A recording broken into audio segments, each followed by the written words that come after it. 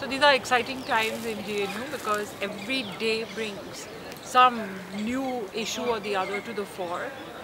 But all the issues cumulatively are all contributing to the same end result, which is the shutting down of our right to speak and to think. And we are seeing the different ways in which this is being done to students and to teachers.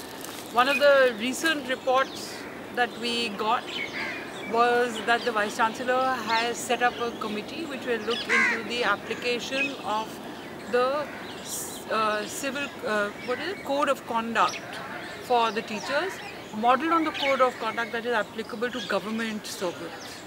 Now this code of conduct has been evolved for people who are in the IAS, in the IFS, in the railway services who have to serve for many years under a government that keeps changing. And so they are specifically under these uh, code of conduct told that they cannot profess any particular political opinion. They cannot have any affiliation with any party or any organization that is associated with a party and they cannot even publish their views. Now can you imagine a code like that being applied in academia where it is your job to have views and to publish them. So what they are basically doing is that they are criminalizing our work in and of itself.